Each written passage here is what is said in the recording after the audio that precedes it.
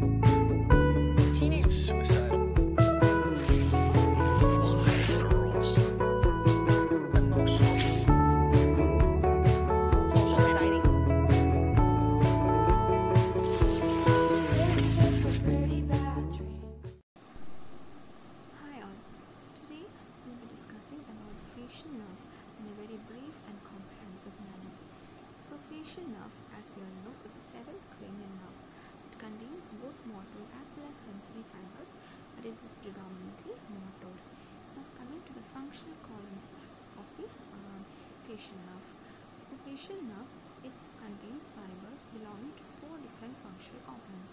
First one is a special visceral efferent.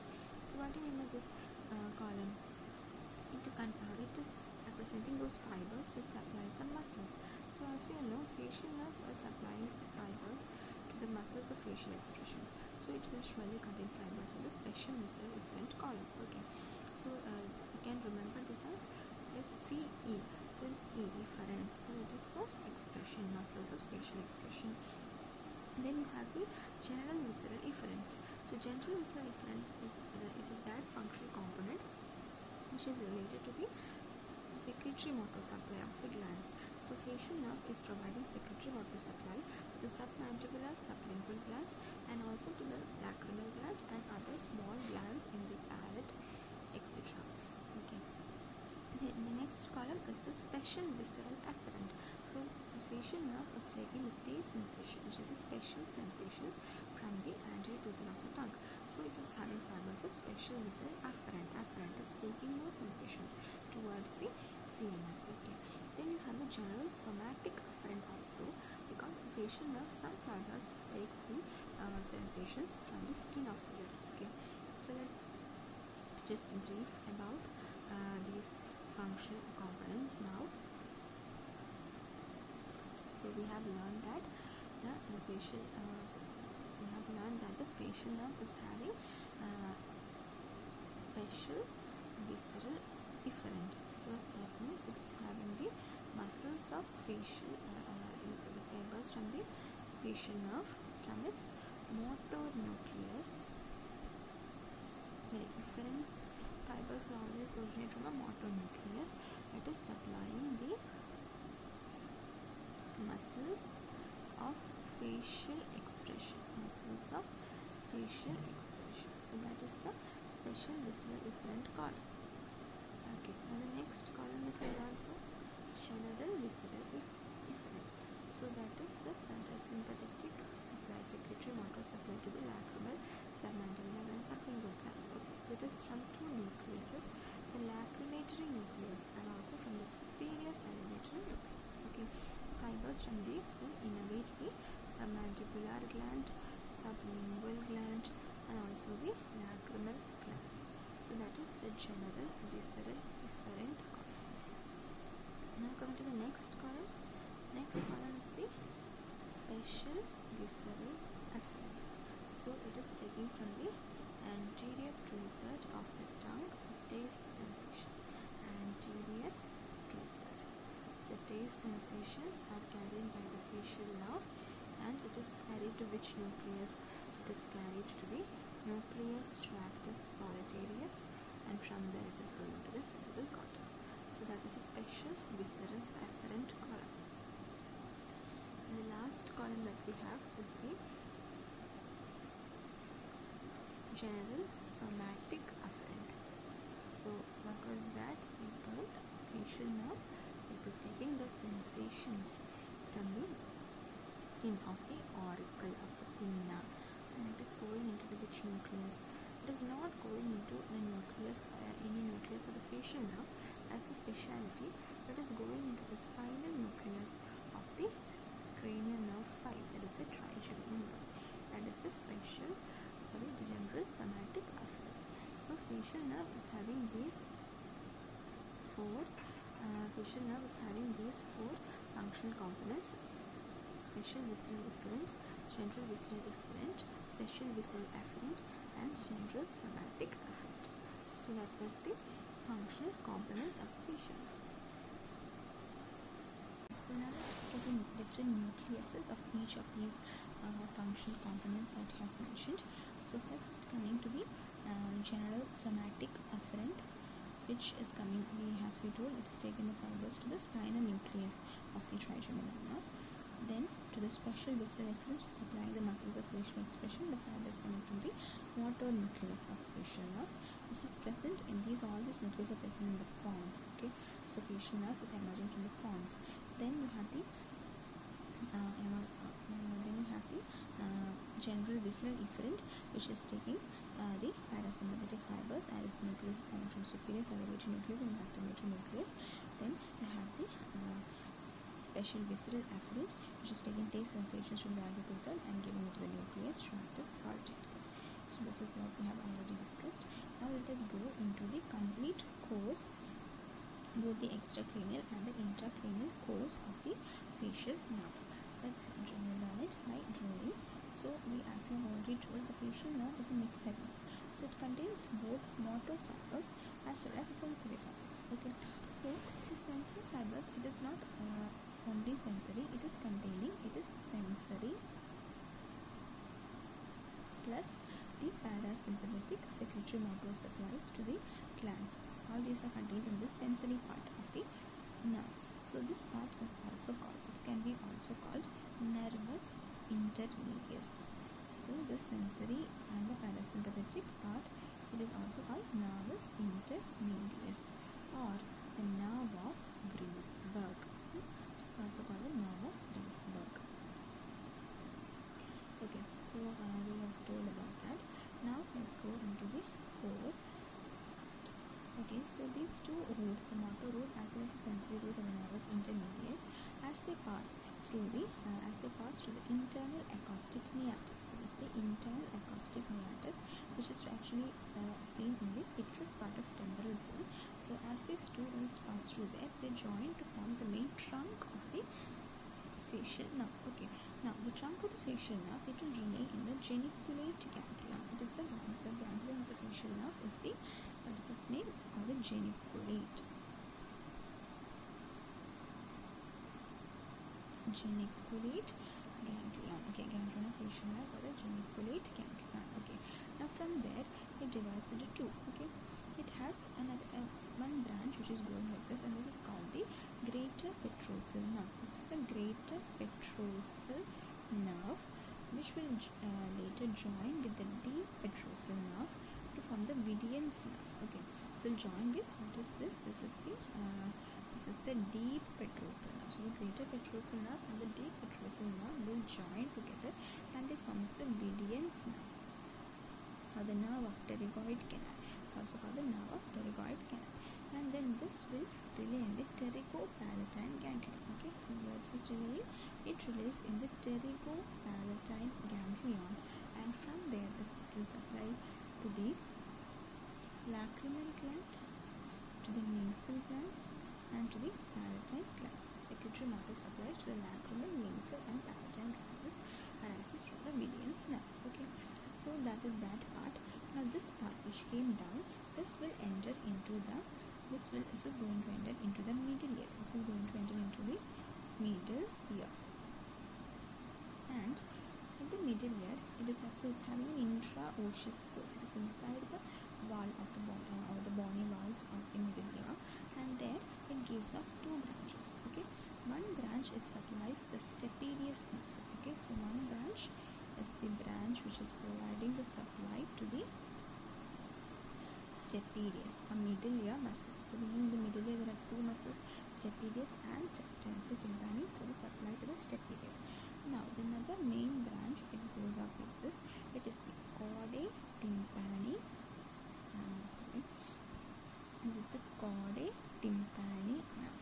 so this chordae tympani nerve will later join with another branch of the mandibular division of trigeminal nerve and this nerve is called the lingual nerve okay? The mandibular division of trigeminal nerve is having a branch called the lingual nerve. So chordae tympani will join with the lingual nerve and uh, it will be relying on the submandibular ganglion the lingual nerve it uh, hosts the submandibular ganglion and from there the secretory motor supply will be given to the where it will be giving to the submandibular and the sublingual glands and also the main trunk is is this part which is responsible for taking the taste sensations from the anterior two-third of the tongue. So that was what we call the general visceral afferent functional component. Okay, so that is this much part is clear, right? Now what will happen to the nerve? The main trunk, it will come out of the cranium through the stylomastoid foramen. Come out of the cranium through the stylomastoid foramen. Okay, comes out. This facial nerve comes out through the stylomastoid foramen. Okay. Now, now what? As it is coming down, it enters into the parotid gland. Enters into the parotid gland. This is the parotid gland, and it gives off its terminal branches. Before that, it gives off two smaller, uh, three smaller branches to three other muscles. These muscles are the posterior belly of digastric, stylohyoid, and to the occipital belly of occipital frontalis muscle which is present in the scalp. Okay. So it entered into the parotid gland and gave its two terminal branches that is the temporofacial branch and the cervicofacial branch. Okay. Now this temporofacial branch will divide into temporal and facial portions and the cervicofacial branch which divide into the buccal, the marginal mandibular and the cervical branches of the facial nerve. Now these are responsible for giving supply to the muscles of facial expression. So now let's look into that part uh, that is the facial or the face more detail. So here it is. This temporal we can uh, can point it out. So sorry, so this is a temporal facial branch. It gave off the temporal as well as the zygomatic branches. So this is a temporal branch. This one here is a temporal branch. And which are the muscles to supply the temporal division? It gives the muscles of the auricle. Okay, is auricularis anterior, auricularis superior, and the intrinsic muscles of the lateral side of the ear the auricle. And in case of scalp, it gives a frontal belly of occipital frontalis. Here you have the occipital belly of occipital frontalis, which was supplied from the main trunk of the facial nerve, and the frontal belly gave it was the temporal branch, and uh, the orbicularis oculi and corrugator supercilii. These are muscles which are supplied by the temporal branch of facial. So it is in and near the scalp, the scalp, the forehead, and the eyes. And then come to the next branch that is the zygomatic branch. It is supplying only the lower parts. Okay, it is only this is a zygomatic branch. It is supplying only the lower part of the orbicularis oculi. Now come to the next division that is a buccal branch. This buccal branches can be actually divided into an upper buccal and a lower buccal, and that is on the base of the parotid duct. The part which is above the parotid duct is upper buccal, and below will be the lower buccal. So, uh, so the upper buccal branches supply most of the muscles, it, uh, most of the majority of the muscles of the facial expression of the lateral side of the nose and of the upper lip are supplied by the upper buccal branch, that which includes the uh, zygomaticus major and the minor. We have the elevator anguli oris, the elevator labii superioris, elevator anguli oris, elevator labii superioris, zygomaticus major minor, the muscles in the nose. Okay, all this is supplied by the upper buccal branch, and the lower buccal branch supplies the buccinator and the orbicularis oris. Okay. Then you have the marginal mandibular branch, which is supplying the is a, which is a deep muscle, and also the muscles of the lower lip, that is the depressor anguli oris, the depressor labii inferioris, and the mentalis, which is present in the chin region. Okay. And you have the cervical branch, which is supplying the, you can see here, the uh, cervical branch is coming and supplying this muscle, which is called the platysma, which is a superficial muscle which is present in our neck. So that's about the pores and the branches and the muscles which supplies. Come to the clinical aspect of the facial nerve. So the first one is a Bell's palsy. It's an LMN type of lesion of the dialysis of the facial nerve. It mainly occurs due to the compression of the facial nerve, the stylomastoid foramen. Yes, we already told is a foramen through which the facial nerve comes out of the cranial cavity. Now, the, uh, the main clinical features which the per- person presents uh, in a Bell's palsy includes all those features which are caused due to the paralysis of the muscles of facial expression. So, suppose the uh, in this figure, this side that is the uh, this side that is the left side facial nerve is damaged.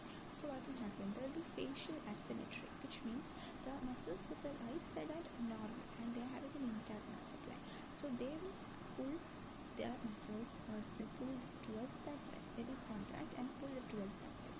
So the affected side will be sagging down and the healthy side will pull the part of the face to that side. So there will be a facial asymmetry. Okay. Then there will be the loss of horizontal wrinkles in the forehead. You can see here in this side there is the wrinkles, in this side there is no wrinkles. That is because of the paralysis of the uh, frontal part of occipito frontalis, which was supplied by the temporal branch of the facial. Okay. Then there is a widening of the palpebral fissure. Because, and also the patient is not able to close the eyelid. That is because of the paralysis of the orbicularis oculi muscle, which was present here and which was supplied by both the temporal branch and the lower part, which is supplied by the zygomatic branch. Then there is epiphora. That means there is the uh, tears will fall down uncontrollably because this person is not able to close the eyes, and that is for the same reason of the paralysis of orbicularis oculi. Now coming to there will be a loss the nasolabial furrow. Here you have furrow here called the nasolabial furrow that will be lost because of the paralysis of elevated and uh, elevated labii superioris and echinacea. Then there will be accumulation of food in the cheeks and the patient will not be able to um, to swallow them nice uh, swallow them well that is because here there will be accumulation of food that is because of the paralysis the buccinator and the person will not be able to uh, to hold the air to inflate the cheeks okay against resistance. There will be a leakage of air. Okay that is because of paralysis of buccinator itself. Okay the person will be able to whistle out so that is also because of paralysis of buccinator and there will be dripping of saliva from the sides of the mouth.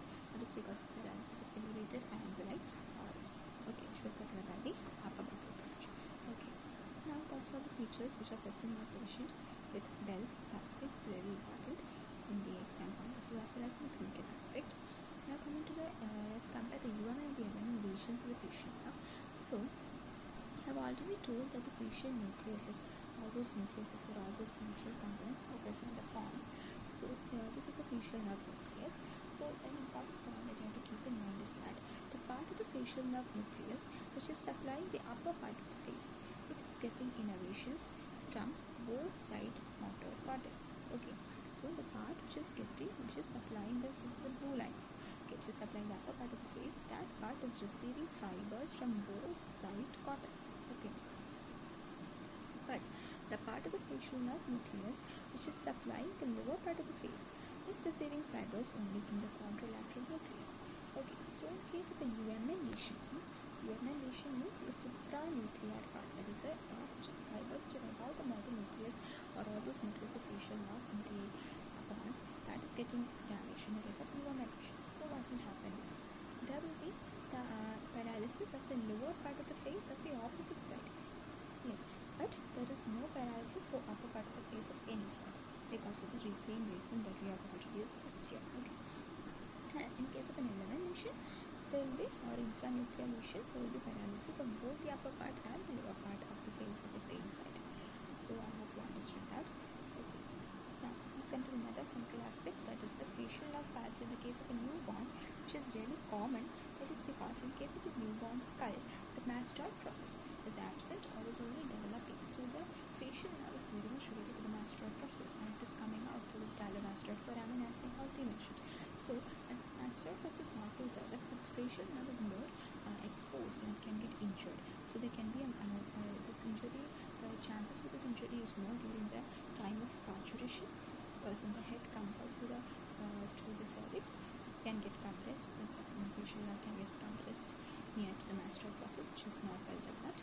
So to result in the paralysis of the facial muscles of the baby of that side, and the, uh, the clinical feature which we see is that the baby will not be able to suck the milk because sucking and whistling are not is an action of the buccinator muscle which is this case.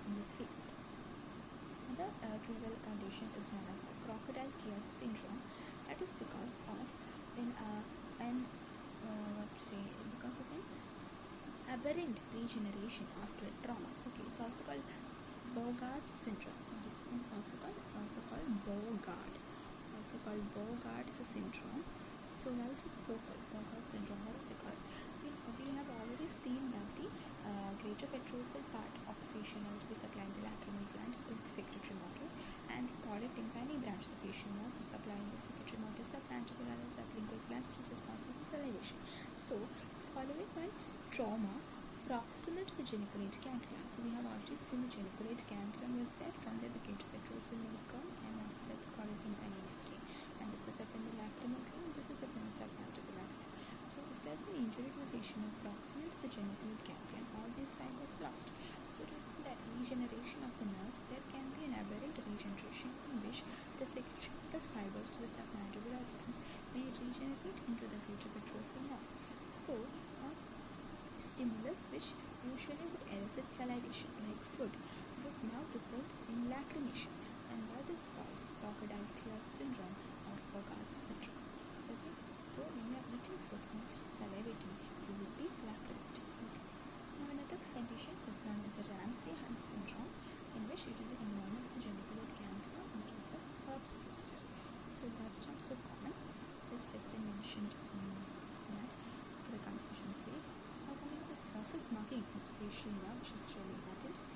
There we have to take two points. Facial nerve here, uh, marking the facial nerve, extracranial part, and we are marking only the main trunk before it is entering into the parotid gland and dividing into uh, its terminal branches. So within the parotid gland, is traveling in the Patey's facial-venous plane, and which contains the trunk facial nerve, the retromandibular and the external carotid junction.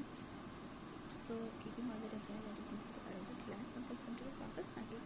If you're looking at, you have take two points. That is the midpoint of the anterior border of the mastoid process. This is the mastoid process. So the midpoint of the anterior border of the mastoid process, and also a point which is in the posterior border of the ramus of the mandible. So joining these two points, you get the surface marking of the main trunk of facial nerve struck it before enters into the petioles facial venous plate in the peptic So that's all about the facial nerve in brief.